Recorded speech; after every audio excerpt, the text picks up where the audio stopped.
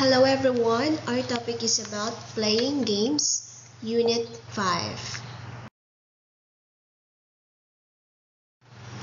Here are some examples of various games.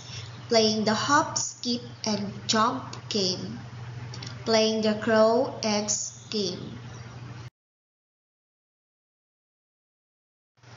Another examples are playing climb the mountain, go down the river game, and playing picking up the trash game. Another examples are playing the tug of war game and playing forming groups game. And lastly, we have here monkey in the middle game. Guidelines for safety while playing games. First, follow the rules of each game carefully. Second, wear appropriate clothing.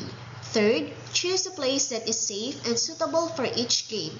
Fourth, avoid using broken equipment because it might be dangerous to the players. Fifth, play each game carefully. Sixth, participate with an attitude of unity and avoid playing through roughly with others. 7. Be a good team player. Forgive and be respectful.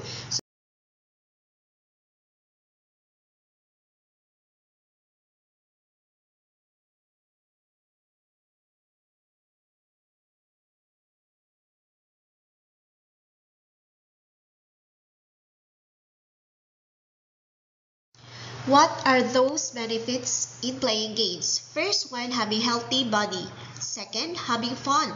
Third, being courageous to share ideas and knowledge. Fourth, being responsible and having self-control. Fifth, being able to do well in different activities and get along with others happily. And lastly, building unity in the group. So those are the benefits in playing games. So always remember the guidelines and the benefits.